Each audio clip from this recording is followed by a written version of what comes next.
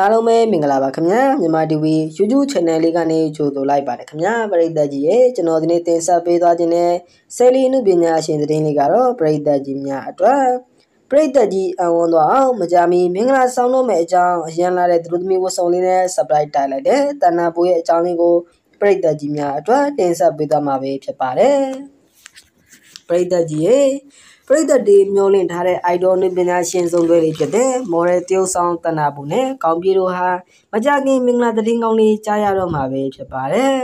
။ရခိုင်နှစ်ကလေးကမိဘချင်းတွစ်ဆုံပွဲပြုလုပ်ခဲ့ပြီးဆေးဆက်ထားခဲ့ကြတာပဲဖြစ်ပါတယ်။တဏ္ဍာဘူးတို့ဆုံးတွေလေးကတော့အရန်လိုက်ဖက်ညီပြီးအများအားကြရတဲ့အသွေးလေးတွေပဲဖြစ်ပါတယ်။ဒီနေ့လေးမှာတော့တဏ္ဍာဘူးက